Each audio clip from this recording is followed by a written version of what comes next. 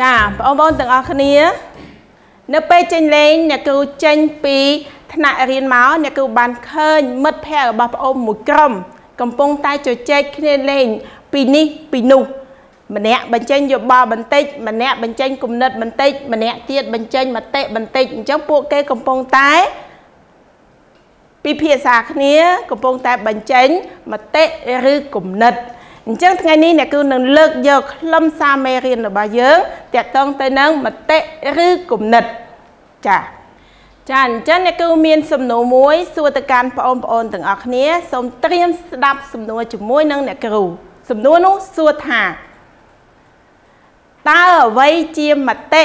ឬគំនិត ចាសូមអានម្ដងទៀតតើអ្វីជាមតិឬគំនិតសូមស្ដាប់ឲ្យច្បាស់ម្ដងទៀត តើអ្វីជាមតិឬគំនិតចានៅក្នុងសំណួរនេះអ្នកគ្រូមានចម្លើយ3ដើម្បីឲ្យប្អូនធ្វើការជ្រើសរើសចាចម្លើយកជាយោបល់ការគិតឃើញ ឬការយល់ឃើញ របស់បុគ្គលណាម្នាក់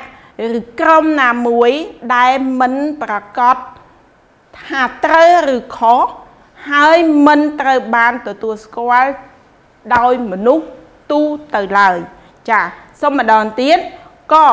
ជាយោបល់ការគិតឃើញឬការយល់ឃើញរបស់បុគ្គលណាម្នាក់ឬក្រុមណាមួយដែលមិនប្រកាសថាត្រូវឬខុសហើយមិនត្រូវបានទទួលស្គាល់ដោយមនុស្សទូទៅឡើយចាចម្លើយខ ជាការពិតរបស់បុគ្គលណាម្នាក់ដែលមនុស្សទូទៅព្រមទទួលស្គាល់ចាសូមម្ដងទៀតខជាការពិតរបស់បុគ្គលណាម្នាក់ដែលមនុស្សទូទៅព្រមទទួលស្គាល់កជាការរកឃើញនៅហេតុការពិតណាមួយដែលមនុស្សទៅដែលមនុស្សទូទៅព្រមទទួលស្គាល់ចាសុំម្ដងទៀត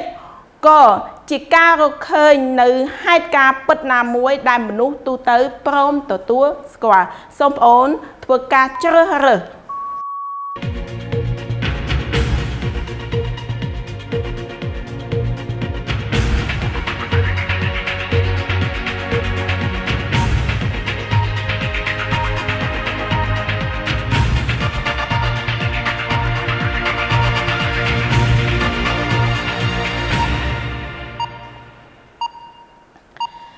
ចាធ្វើតើបងអូនជ្រើសរើសហើយនៅ នៅចម្លើយទាំង3អំបញ្ញមិញចាអញ្ចឹងសូមស្ដាប់អ្នកគ្រូបកស្រាយថាចម្លើយមួយណា ដែលត្រឹមត្រូវហើយចម្លើយមួយណា ដែលពុំត្រឹមត្រូវចាចម្លើយដែលត្រឹមត្រូវគឺចម្លើយដែលត្រឹមត្រូវគឺចម្លើយមួយណាបងអូនចាចម្លើយដែលត្រឹមត្រូវគឺចម្លើយចម្លើយចម្លើយក ការយល់ឃើញ ការគិតឃើញ ឬការយល់ឃើញ របស់បុគ្គលណាម្នាក់ឬក្រុមណាមួយដែលមិនប្រកាសថា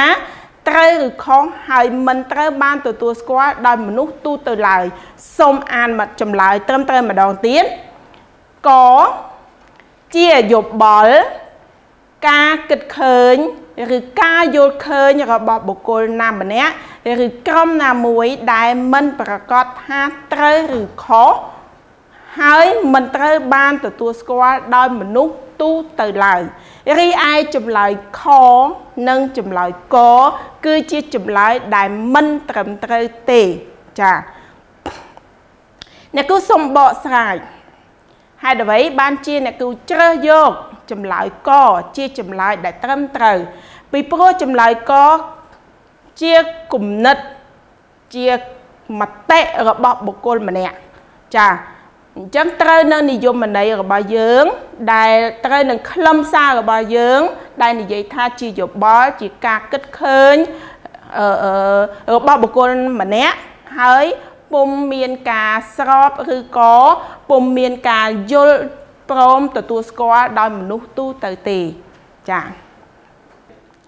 ចាបងប្អូនទាំងអស់គ្នាបន្ទាប់ពីសិក្សាខ្លឹមសារស្ដីពីមតិឬគំនិតរួចហើយអញ្ចឹងអ្នកគ្រូមានលំហាត់អនុវត្តមួយចូលបងអូនអនុវត្តជាមួយនឹងអ្នកគ្រូចាលំហាត់នោះគឺមានចំណងជើងថាតើកថាខណ្ឌណាខ្លះ ជាមតិសូមស្ដាប់ម្ដងទៀតតើកថាខណ្ឌណាខ្លះជាមតិនៅក្នុងនោះអ្នកគ្រូមានកថាខណ្ឌ3អ្នកគ្រូនឹងអានកថាខណ្ឌនីមួយៗដើម្បីឲ្យបងអូនធ្វើការជ្រើសរើសកថាខណ្ឌទី1ក្រុមហ៊ុនទេសចរយើងខ្ញុំ មានរថយន្តទំនើបទំនើបបំពាក់ដោយម៉ាស៊ីនត្រជាក់និងធានាផាសុខភាពសម្រាប់អ្នកដំណើរ គ្រប់រូបតាមផ្លូវធ្វើដំណើរពីភ្នំពេញឆ្ពោះទៅកាន់ខេត្តក្រុងនានាទូទាំងប្រជាណាចក្រកម្ពុជាក៏ដូចជាប្រទេសជិតខាងដែរសូមទេសចរជាតិអន្តរជាតិជឿទុកចិត្តលើសេវាបម្រើល្អឥតខ្ចោះ និងការធានាសុវត្ថិភាពរបស់ក្រុមហ៊ុនទេសចរយើងខ្ញុំចោះចាកថាខណ្ឌទី2ប្រាសាទអង្គរវត្តស្ថិតនៅក្នុងខេត្តសៀមរាបប៉ែកខាងជើង ទីប្រជុំជនខេត្តសៀមរាបចម្ងាយប្រមាណ6គីឡូម៉ែត្រជារៀងរាល់ថ្ងៃមានមានទេសចរជាច្រើនមកទស្សនាប្រាសាទអង្គរវត្ត អ្នកគ្រូសូមអានម្ដងទៀតកថាខណ្ឌទី2ប្រាសាទអង្គរវត្តស្ថិតនៅ ក្នុងខេត្តសៀមរាបប៉ែកខាងជើងទីប្រជុំជន ខេត្តសៀមរាបចម្ងាយប្រមាណ6គីឡូម៉ែត្រជារៀងរាល់ថ្ងៃមានទេសចរជាច្រើនមកទស្សនាប្រាសាទអង្គរវត្តកថាខណ្ឌទី3ប្រាសាទនេះជាវិមានដ៏ធំស្កឹមស្កាយមួយល្អ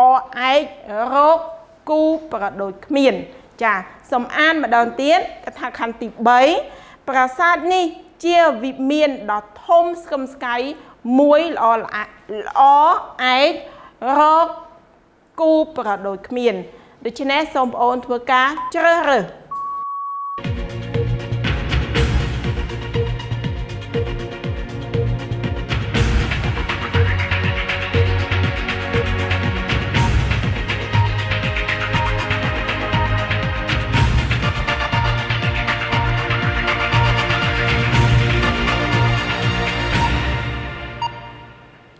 ចាឥ